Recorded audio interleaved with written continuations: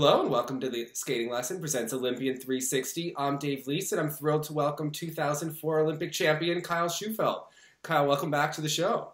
Hello. Thanks for having me back. Yeah, so I thought it's only appropriate to get a Canadian's perspective on the U.S. Gymnastics Championships from this weekend in Boston. You could be the Elfi figure uh, on American TV here. So let's break down the championships. Uh, the last time we spoke, it was just in 2016. Simone Biles was getting ready uh, to mm-hmm. go uh, to the Olympics in Rio. And in case you've been living under a rock, Simone is back, and they say she's better than ever. Um, she's back? Yeah. I didn't. I didn't know that. No, I'm just joking. Yeah, she's better than ever, man. She looks incredible. So, what is your take on on Simone's back better than ever. What to you, what specifically looks so much stronger to you than it did two years ago? So I think number one, Simone looks a little more joyful during her gymnastics. She seems to be a little more present to me and doesn't seem to be so concerned. Like there's not the Marta sitting there, you know, on her shoulder anymore. And she seems to be a little bit more free. I love what she said about um, her gymnastics being more on her ter- her terms now. She's not afraid. She has nothing to lose. It's now it's just challenging her own potential. And I, I kind of see that she's having fun doing gymnastics again. So I really like that. Um, I love that she's added some difficulty on floor and um, vault that she's doing the Cheng for her first vault, which used to be the questionable second vault. Now it looks so easy. But what I'm most impressed with, David, with Simone, is her improvement on bars. Um, the addition of skills, but it's the little things that I notice. It's the extension in her handstands, her body position as she's swinging into the dismount. I can really see uh, Laurent and Cecile's um, influence in her gymnastics, especially on uneven bars, and I just think it's really cool. Not a lot of athletes have the courage to come back after being as successful as she was, and so to come back into that realm and be vulnerable, but then to really like hit it with an exclamation mark right off the top at classics. Uh, I'm I'm incredibly impressed with her. So how how much do you think of a mental hurdle it is to compete again? Obviously, knowing that she's expected to win, she knows she has a buffer. I mean, you competed again after you won an Olympic title on floor. Did you, you know, how do you get past that mind game of thinking you have to be perfect, you have to win all the time? Well, I don't know if some people really do ever get past that. I can distinctly remember an experience that I had at the 2006 World Championships. Um, I didn't come back in 2005 to compete because I was actually I, I didn't have enough training time, and, and all of a sudden you're really afraid of like what everyone's gonna think of you because you're the one who's doing the chasing, and then all of a sudden now you're being chased.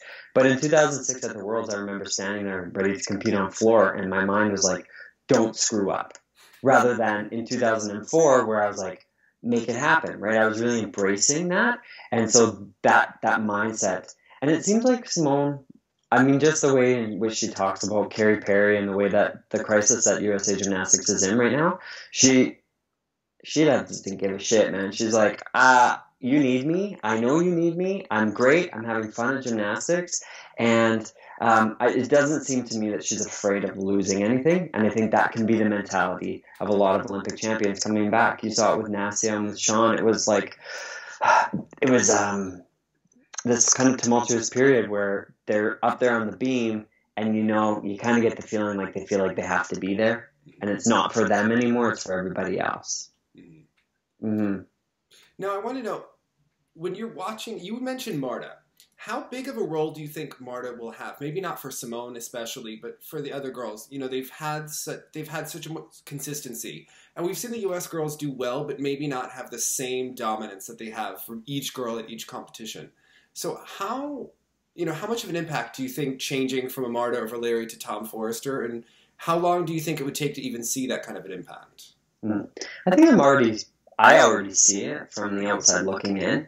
And, you know, as a as a broadcaster now, um, I've I've done a lot of reflection on the way that I played a role in the way that the the environment was it was an environment based on fear. And I think that a lot of us as, as, as broadcasters and as fans of the sport really kind of, we, we emphasized how great these young women were at performing under pressure. But what we didn't realize was that it was really fear based, you know, that they were going into these competitions Um, like Simone has said in a few interviews that I really like, she said now it's about faith and it's not about fear. And I think that, um, yeah, so I've done some reflection there as a broadcaster saying how amazing these young women are and they can perform under pressure and they can always hit. But it was certainly, I, I guess now we're coming to the realization that it was groomed in an environment that wasn't, it wasn't the right environment. So now, um, seeing the way that it is moving forward, I think these young women don't appear to be fearful of making mistakes. It, they're more so embracing the possibility of what can be. And I think that's the way the sport needs to shift. That's the cultural shift that needs to happen. Um, sure, you can win medals and you can get results. Clearly, the team did it with Marta as the leader, but it was a place that there was they were silenced, and it was a place where they were hitting routines because they were too afraid to miss their routines. And I think that now the shift needs to happen within that cultural um, perspective. The athletes need to be able to walk into a competition ready to embrace their excellence rather than be afraid and tight and be uh, scared of, of, of, making mistakes. Does that make sense? What do you think? Yeah, I was wondering if you think that the how much can change. I think I was wondering where it seems like they're moving in a, in a, in a good direction, a positive direction but there's still a lot of the coaches who are from the old system and are from the old way of thinking. And then because there's a lot of depth as we move closer to the Olympics and the stakes become higher, I guess how do you keep it so that it doesn't become so fear based? Because theoretically, then mistakes will start to have realistic impacts. I mean, not. Right. I mean, certain competitions they would act like you know a Pacific Rim or an American Cup, where making a mistake there would be so detrimental to an athlete's Olympic chances, which are seriously not realistic. You know, if you make one mistake, it doesn't ruin your entire career. You know, I think if you make a mistake in a nationals or Olympic trials, obviously it's a little bit more uh, serious. I guess how do you how do you balance that? Well, and that's the way it used to be, right? If you made a mistake, you're written off. And now I think the system needs to embrace that if you make a mistake, you learn from it and you get the opportunity to try again.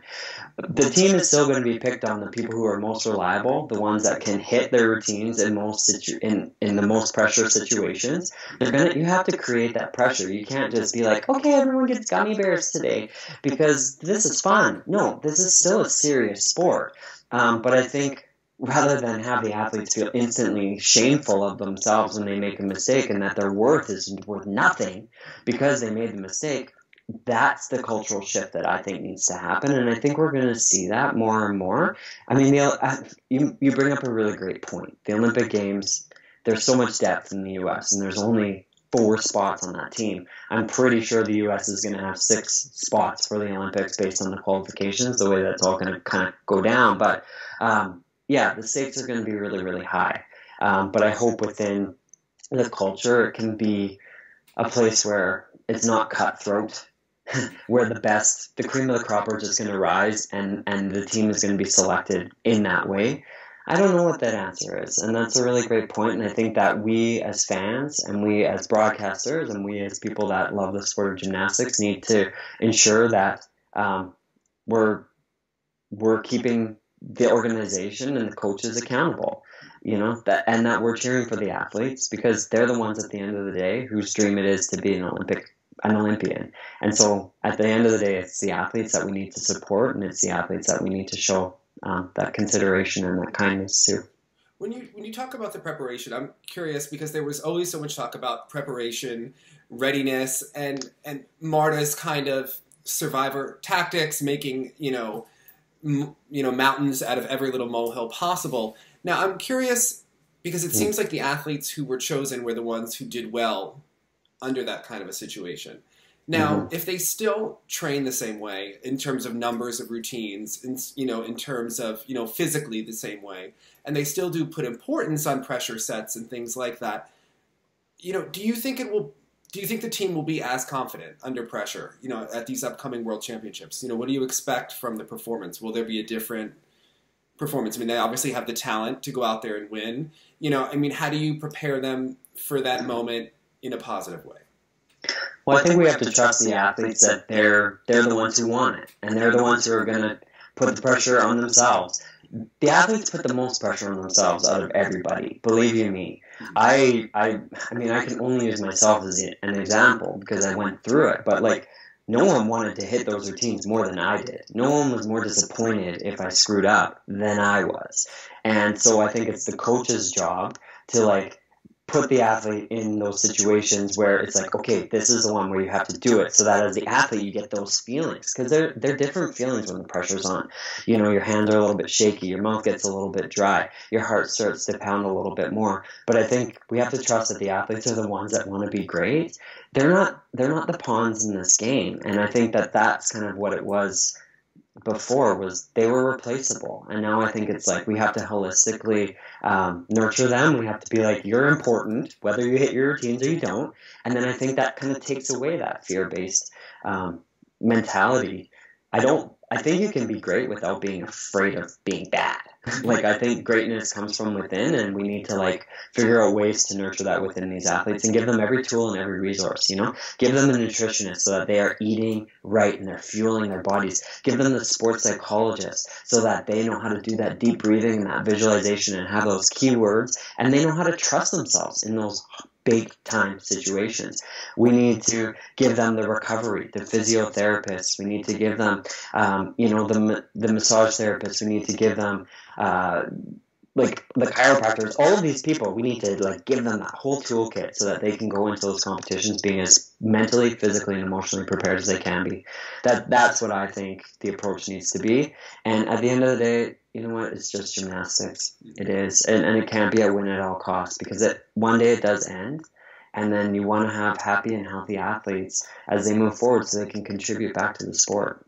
I think also it's interesting. You know, they, they act as though Marta never lost, but she actually did lose a number of competitions, even as the coordinator in the U.S. competitions that they were maybe expected to win. So it's you know her mm-hmm. method may not have always been the right way. In 2004, right. the team had so much depth, and you know they didn't perform well under pressure, and you have to wonder, you know, if her, you know, was it as detrimental as it was positive? Those athletes probably could have won, you know, with a number of people doing that job. So I think that's interesting. With the circumstances that have been going on in the states, I've been thinking a lot about like my interactions with the with the women, with the coaches, with Marta, and like one of the distinct memories I have, actually, there's two that are pretty funny. In 2007, I broke my legs at the World Championships, and I was friends with Nas, with Nastia, and I knew um, like Alicia, and um, so I'm sitting there in a wheelchair, and like I'm talking to the girls, and Marta comes up and she's like, "Okay, girls, time to go." Like she wouldn't even let them talk to me because it was this mentality of like weakness that I had broken my legs and like I was sitting there and like they couldn't talk to boys and this broken boy and poof, she got them out of there really quick. And then I remember being on the bus on the way to training one day in, in Beijing, and I was like, "Hey, how's it going?" And like no one would talk to me. They just stood there because Marta was right there, and they were they were like too afraid to even talk to a friend on the bus. And so those those interactions, and like I was, I wasn't really afraid of Marta, but in a way, she kind of creates this thing where like it's untouchable. Like these are her girls, and you can't talk to them, and you can't, you know um, it was a control. You know, there was there was a lot of that control, and so yeah, I hope that as as the system moves forward, that like there can be there can just be more joy and more more ability to like be a person and interact with people and not just be a gymnast 100% of the time. Yeah, I think it determines how you know athletes are motivated. I've had bosses that are control freaks, and then I've had bosses that demand excellence, but maybe they're not on you every second of the day. They trust you to be an adult. I think that that'll be interesting. Now, mm-hmm. I wanted to ask you about Riley McCusker, who did, had a really good competition this weekend. We were talking about mental preparation, and I, I, wanted your take. So, a year ago, Riley was kind of labeled a head case because she had a rough competition at the American Cup. And if you didn't see it, NBC will remind you of this every time she competes. They will re-show her being. yeah. And you know that was kind of an that was kind of a plum assignment for her to get relatively early in her career. She had only been to one junior national championship. She, you know, was an up and comer and was kind of put on the American Cup stage probably before maybe she was ready or, you know, naturally would have been had there been more depth in a non Olympic year, you know, not the year after the Olympics, rather. So I was mm-hmm. wondering for you, now that she's doing well, are you surprised? You know, there are so many people that still expect her to be you know, making mistakes all the time. You know, where do you think she is in her progression? I think she looks great. I felt so proud of her as a fan of the sport to see that she put together at the U.S. Classic and at at um, U.S. Championships really awesome routines. She was super solid. She hit eight for eight at U.S. Championships. And what I what I look for in the athletes is I look in their eyes and I look for that fear. And uh, when they're standing ready for a routine, what are they doing? Are they like pacing and looking around, or are they just present? And she seemed so present, and she seemed so sure of herself. And it looked to me like she had done the numbers. And I think that putting her on that assignment in 2017 for the American Cup, there was a bit of expectation, right? I mean, she does have gorgeous lines. Her there's no there's no leg extension like Riley McCusker in the world right now. The way her toe points, it is something of magnificence, and I think that she. You know, you, you don't know how to play the game until you're in it, and sometimes you gotta make mistakes. And like we gotta, I think as as gymnastic fans and as broadcaster, I ha- we have to be lenient. Uh, we gotta like just let these people make their mistakes and have their learning opportunities. And I think that Riley McCusker is someone who I actually I think is going to go even further. I think her bars has more potential. I think her beam has more potential, and you can see in her tumbling she's even getting more powerful. I can see um, her in her legs, like her her muscular build in her leg is is is building up, and she seems to be getting more and more powerful. She used to be very frail looking to me, whereas now she seems like very athletic and very strong, which I like to see. So yes, she she she's very impressive to me, and I think that um, as we progress, I, I don't think we have we I don't think we have to worry about her being someone that is mentally unstable. I think that once she gets the numbers in, and she's going to build confidence, and that's where confidence comes from. Is each time you hit, you you have to be in those big pressure situations in order to learn how to trust yourself. You really do. I thought it was interesting on uh, encouraging that um, on the first night of competition, it looked like she was a little bit nervous when she was competing, but she only made little mistakes. You know, they were there were no big errors. It looked like she was fighting through the nerves rather than just having, you know, that fantastic day. So I thought that was um, encouraging. Um, you talked about leg line, and I just wanted to ask you about Simone briefly. So that's the only thing that I don't think looks maybe quite as good is Simone's extension in her legs doesn't look as good as it was two years ago. Do you think that's just time off? I mean, she's also a little bit slimmer than she was then, so then her feet look bigger than they were compared. What do you think is going on there? It's just like my OCD. I, I noticed. Yeah, I think you're overanalyzing this. I mean, I've been out of gymnastics for ten years, and I can still, I can still point my toes, right? Like it. I don't think your toe line okay. goes away too much. But I mean, Simone does look. I don't, I don't want to use the word thinner. I hate that word. I think she looks healthier. I think she looks um, she looks leaner and she looks more athletic. Like she, she, her body is just she's a little machine, and I think that I've wa- I watched I've watched a lot of Simone's routines and the way that she does gymnastics, and she is a bit flat-footed. Like when she's on beam, she's not up on her toes like a Sanne Wevers would be, or like even a, a Aliya Mustafina. Like she has a different style where she's landing a bit more flat-footed she's she's not a ballerina, and I think I don't expect Simone Biles to be a ballerina because she's a powerhouse.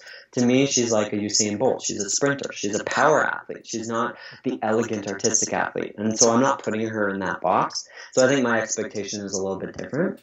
But I, I you know, just watching her on bars, I would disagree. I think her extension is better. I think her leg line is better. I, think that the handstands. Oh, beam, beam is where you're kind of referring. Yeah. Yeah, on the, some of the leaps and stuff, I kind of notice it more now than I did before. I don't know why that is, but maybe right. it's because we have nothing else to look at. That we, you know, that we. Right. Know, she was a little wobbly in the meets leading up to the Olympics on beam, so maybe there's yeah. just more. Well, and I think Simone is someone, uh, especially because she's at the top and she's so far ahead of everybody else. It's really easy to be a bit nitpicky with her on little things like that um, because she's heads above the rest in terms of difficulty. So then we kind of go insular and we look like a one le- level deeper. Um, I think though, like knowing who her coaches are, they they see it. Mm-hmm. Cecile is going to be trying to get every every centimeter or for you guys every inch of of extension and length in those feet and the knees because when you're that great the small incremental improvements are what you're looking for right when you know you're going to beat the rest of the world by three points you're trying to beat yourself and you're trying to constantly improve.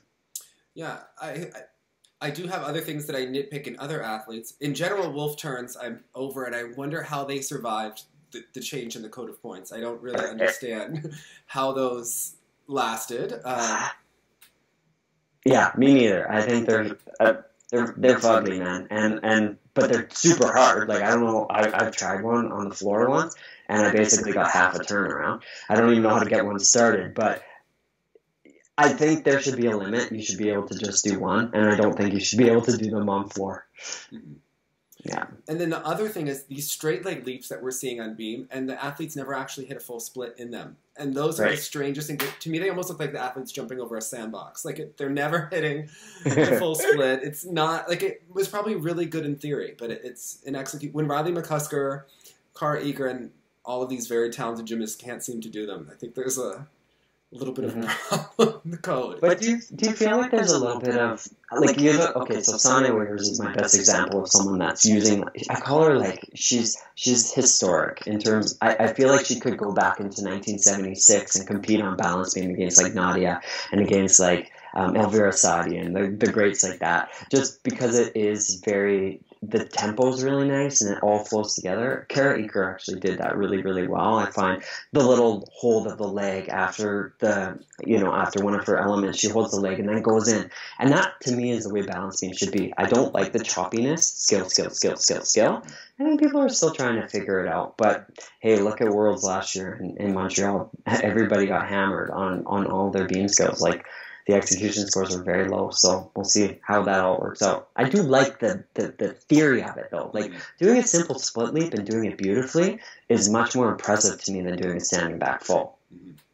Yeah, maybe it's just that they're all right? doing them, but they're not doing them well. Maybe they need to hammer the execution more until we see everyone look like Sanne Weaver. But um, I wanted to know a little bit about Riley McCusker. So they talked about her cr- her crunching into the horse on vault. Now she's improved right. a lot on vault from last year to this year and then we see her on Instagram, and it's hard. You can't really slow down the videos as much.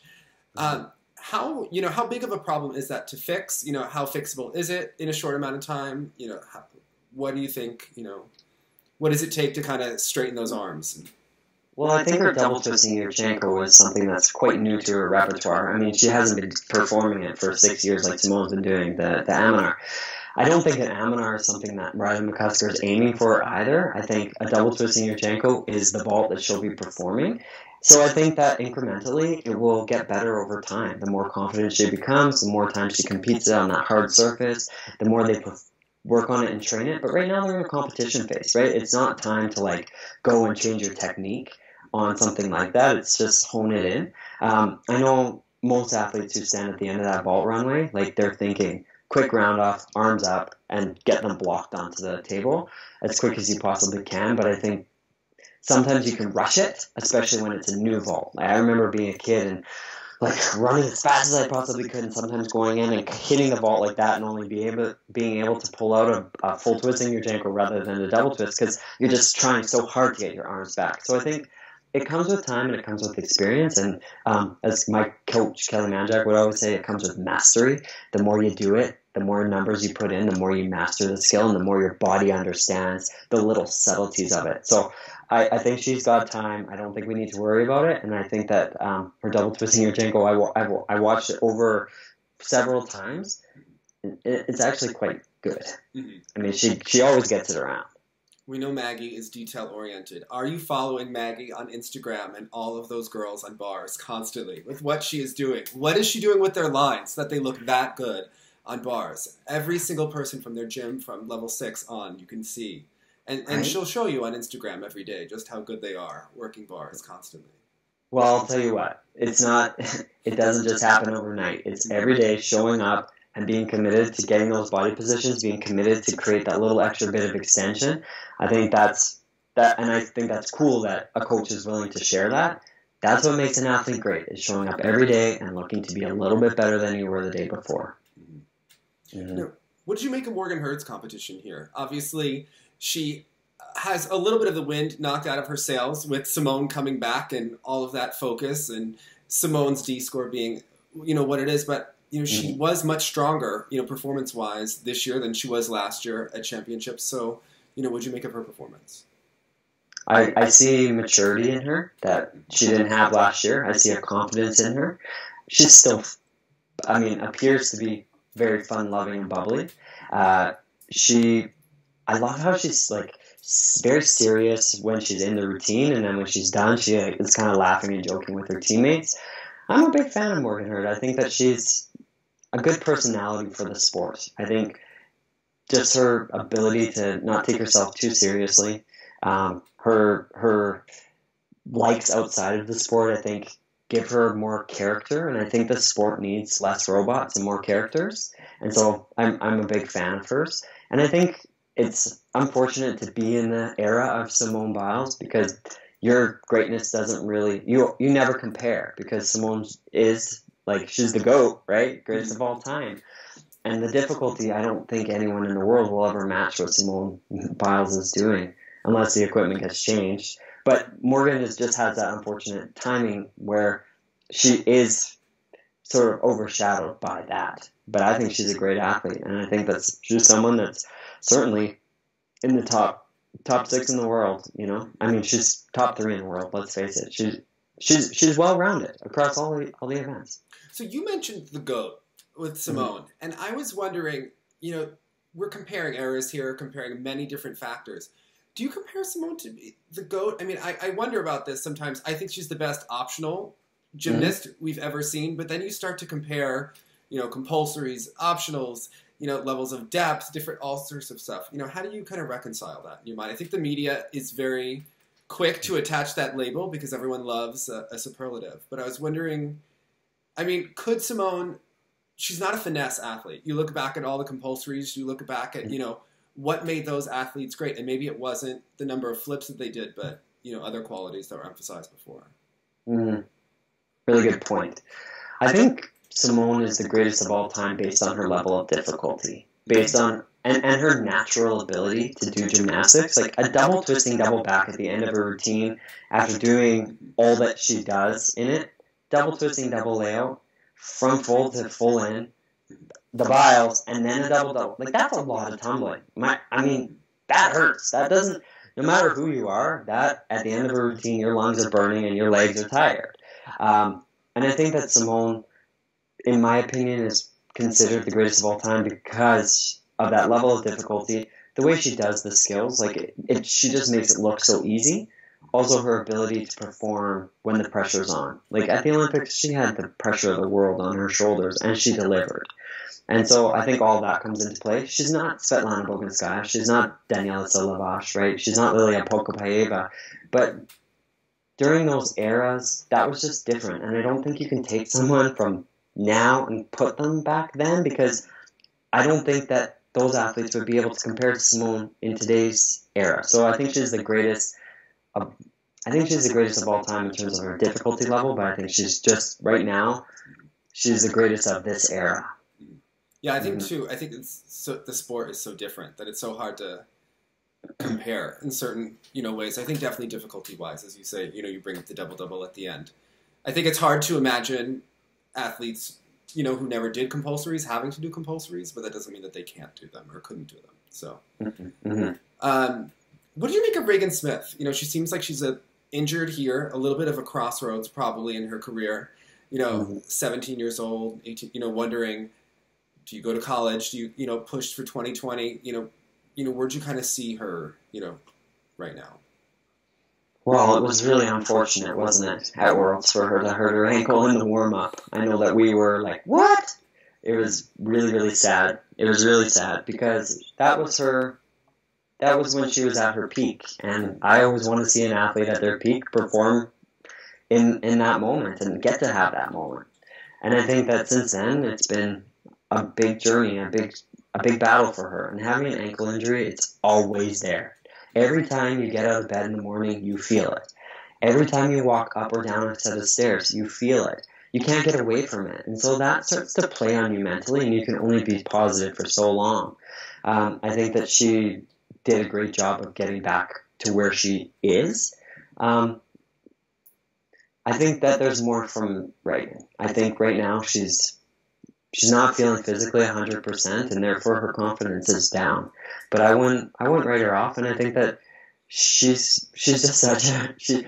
I've had the opportunity to talk to Kim a lot, and Ragan is just like such a wide-eyed wonder. You know, she's such a wonderful young person who sees the possibility in moments, and I think that in co- if she go if she decides to go the college route right away, like if that was something she chose to do, I think she'd excel there. Um, but I think she's got a little more elite left in her. Mhm. Her balance beam is, is really incredible when she's on. If she's looking at worlds this year, do you think maybe she should try to specialize on certain events? You know, rest the ankle would it even matter? I hate to put thoughts into people's minds, but I think that she needs to. I I would say that the worlds this year is just not worth it. Um, I think that the team is going to come top three regardless. I think they're going to get that Olympic qualification, and that's the goal. And I think for her, she needs to think a bit longer term and say, okay, you know what? Like, my ankle was heavily taped at nationals. I'm hurting, and now just take that step back and do more rehab so that you can feel great. Because gymnastics, when you when your body feels good, is fun. Gymnastics, when your body hurts, is like it's like a nightmare. Mhm. hmm No, you talked about about the team. So it looks like the top three will obviously uh, go: uh, Simone, Morgan, Hurd, and Riley. And then Mhm. you know there are two more spots really up at stake. Obviously, you know Jade Carey has a very good shot uh, with medals last year. You know, and strengths on vault and floor. Would you take an athlete then that was better on bars and beam, or would you take maybe someone like Jordan Chiles who could kind of, you know, be you know having two strong vaults? What you know, what would your strategy be? Mm, strategy. well, I think that Jade Carey is going to be on the team for Worlds based on her ability to medal on vault. She didn't perform her most difficult vaults here, but it's pretty clear to me she's going to be able to do the Amanar and she's working on the Cheng. Right, like that half on front layout half that she did, she could add an extra full in there for sure. So I think that she's going to aim for vault finals, and I think on floor, I mean, I think we're going to get to her artistry, but her tumbling is it's huge, and so that's where she's usable. I was also impressed with her. She she can go up on beam. She could be the fourth up and have that security score. She seems to me to be very um a very focused competitor. She doesn't seem to be too afraid of competing on beam. So um, she she would be on the team in my opinion based on her floor and ball scores. But Jordan, I, I enjoy her. I think she's really fun to watch. I think she's like kind of wild, and um, she's someone who I'm excited to watch in the college um, environment, especially. I think she's going to have a really rocking floor routine. But I don't, she's not on my world team. I don't think that. I think someone like a Kara Eaker or someone like a Grace McCallum, or even like if Emma Malabuyo can um, get healthy, or Miley, I think there's there's a lot of athletes that could take that spot to fill in. But the reality is, no matter who you put in, the Americans are still going to be the best team in the world. I just think they're unbeatable right now. How about Trinity Thomas? So she just went away to school, and she Mhm. has such a strong performance here. It feels like it. It feels like her elite career is almost resurging. You know, if she, with the Right. right instructor, it seems like Trinity could be right up there with some of the best. I mean, Yeah. you know, I think she's someone for Worlds too, right? Right? You know, it's, Yeah, jump. it's so hard though because now it seems like the time for her to strive for worlds and at the same time i don't know when i started know- college that was definitely not the time i'd want to be thinking about any of that so Well, you talk to an athlete like a Brittany Rogers who's done the elite and the college at the same time, and it's grueling. It's grueling, and you're you've got to compete a lot, and your obligation is to your school. Um, I know that Florida is supporting her in, in her elite endeavors, but man, it that would be a long year for her to compete at worlds and to do all that. But hey, good on her if, if that's something that she wants, and she certainly does fill some gaps. She's very reliable across the board, and her bars does bring something special to the American team. But um, if, if if it was my decision, I'd say go to college, have fun, go to parties, have the best college experience you absolutely possibly can. And I just think the elite the elite stuff is just too big of a commitment to tie into a first year being a freshman in university. yeah so you think that makes grace mccallum look like a more uh, viable option definitely for the worlds there now you mentioned artistry with jade so what is your take i guess on her artistry since you wanted to bring it up. So, what's what's should I ask you? What's your take? well, on you already, I already was the one who was nitpicky before for things Right, like memes. So right. I'll let you take this one. Um, Yeah.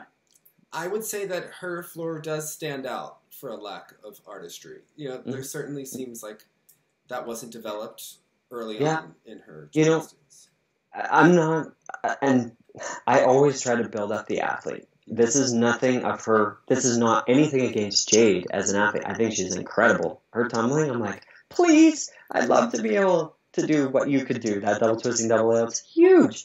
But if there are rules for artistry, and if that deduction is going to be taken, I think that Jade would be the person who, as myself as the judge, would take that artistry deduction. I think her routine is just it's posing and there's no fluidity. There's no connection. There's no storytelling. There's it's just it's background music and a bunch of poses. And but that her personality you know i've never had the opportunity to meet her but i think she's a little more insular. She's a little shyer. She's not the big bubbly gymnast that's going to be like shaking up there and getting the audience involved. So um, they're doing the best they can with the resources that they have. But I think at the end of the day, if it was me to make the call as a judge, I would take an artistry deduction because you have to set the standard somewhere. And to me, it's it is it's just poses, and I know she's working on it. I can tell. Like she changed her routine. It's better than it was last year at Worlds, um, certainly. And she is opening up, and her shoulders are coming a little bit down, but. I don't want. I'm not trying to be harsh here against Jade. I'm trying to be against the rules, I think the artistry deduction should be taken for someone who performs with the lack of artistry that she does. Yeah, I think definitely as they have more training camps and you know they have more opportunity to bring in specialists, and certainly that's definitely something that she'll have to work on because I think that she's an athlete that's definitely um, quite viable for the Olympics. So I think that that's something to focus on for the next two years because it does look like she has most of the tumbling. Mm-hmm, Yeah. mm-hmm. Now, which junior stood out to you? Did anyone you know really excite you here this weekend? So I kind of have this rule. I try not to get too excited about juniors because I know that there's a long road for them, and I don't want to place too much expectation and pressure on their shoulders. But I mean, the Gage, the Gage gymnasts, they're just, they really are beautiful. I, I'm Courtney McCool is, McCool is someone that I always really enjoyed watching, and she was a buddy of mine, and I just I see that style in all of the athletes. Just their it's that extra second that they take before the skill. that like that confident second where I own this. Or on their floor routines where they look up and they um, extend their finger for an extra millisecond. Um, so yeah I, I'm, I'm very impressed with the Gage girls uh, how about yourself Well, obviously, Sunisa Lee is really good on bars and beam, but I think Oh, yeah. what I uh, and Jeffrey Scott from Gage, I think, has a lot of talent. You know, injured this week, but I think I'm interested with Kelly Hill's uh, Junior, Kayla DiCello, because I think you know she did show a really great vault here. She's very good on bars, but Mm. she was not doing anything super super remarkable in her routines, but it just had really you know clean tech, you know, good technique, Stop. clean execution. But mentally, she was so prepared and strong from event to event to event, and you see that confidence building. You know, and Kelly really has a track record of doing that with Mhm. athletes. So I think I'm curious to see that development on the line. You know what's interesting? My so Kelly Kelly Manjak, my my coach when I was training, it was when you're a junior, your job is to learn how to compete, and you should be doing routines that aren't questionable, that aren't like you're not standing there going, "Am I going to make it?" You should be able to say, "I will make every skill in this routine 100% confidently," and I think that's the approach that they're taking, and the difficulty will be added and it will come. What I noticed, especially on bars for the juniors, I could actually see Valeri's influence a lot of their bars is looking very Nastia like to me. Those really extended handstands, the way that they do their pirouettes, look at there's my hands. Ah, the way that they're doing their pirouettes on the front side of the bar, like it's, I can see there's more attention paid. It's not it's not muscle bars. It's like swinging bars, and so I noticed that was consistent amongst most of the the top junior competitors. So, will you be commentating at the World Championships this coming year? I'm gonna be doing the Canadian coverage. Yes, I'm. We don't actually do it from. I'm not gonna be going to Doha. Um, we'll be doing it from Toronto. But yes, I will be I will be calling some gymnastics. It's going to be very fun. yeah, so I was wondering if, you know, what do you think about the fact that Valeri Liukin is obviously working with Brazil right now? Uh, mm-hmm. Chow, uh, who coached Gabby and Shawn Johnson, is now with China. And, right. you know, the Russians have, you know, so many comebacks. You know, Alexeyev is also there. Do you see it becoming more competitive, you know, around the world? Do you think that it, it may not just be the U.S. and everyone else? Do you think that, you know, having so many top coaches could make things more exciting? I sure hope so. I love a competition where you don't know who's going to win at the beginning of it. Um, it's it's like women's hockey. Canada and the U.S. are always going to be in that gold medal game, and no disrespect, but it kind of gets like the game is really fun, but in the lead up, it's a little bit boring because you're like, well, they're going to crush everybody, right? So I, I like it. I my favorite time in gymnastics is is the 80s and 90s when there was like 20 women that could actually challenge for the top six, right? There was 10 women that could challenge for those top three placings, and if you had a mistake, it actually mattered. So that's the place that I want gymnastics to be again. Um, I want the difficulty to come down a bit. I want the execution to be a little bit of more importance, and I want there to be more characters so that we can start to feel like it's more of like a it's more like a like a show, you know. It's like a drama. Like you're like, who's gonna win today? I I like commentating that when you don't know at the beginning who's gonna win. Yeah, I, I know in the U.S. it's very exciting that everyone keeps winning, but when you actually watch the competitions, you know, at the Olympics, I found the Olympic trials to be a lot more exciting than the actual Olympics. I found that it it was kind of a bit boring. You know, at the at the moment, it, it was a letdown of sorts. I thought, you know, at the end of the day. So yeah, you feel like the the story's already written, right? And and then just starts to play out. But yes, I, I certainly hope that Brazil and like good on Brazil, man. They they bring in Alexandrov and now they have Liukin and they're seeing these opportunities to help improve their programs and their athletes. I think that's really really smart of them. And then for China, I thought that was really interesting to have Chow come to China because I know that they're they don't typically bring in like foreign, but they brought in like um, Adriana Pop to do their choreography and stuff. So they're becoming more open minded. And I guess at the end of the day, um, Chow was on the Chinese national team as well. Yeah, I'll be curious to see what happens. So we'll be definitely watching and look forward to hearing your coverage in the in the coming weeks. So thanks so much, Kyle. Yeah, thank you.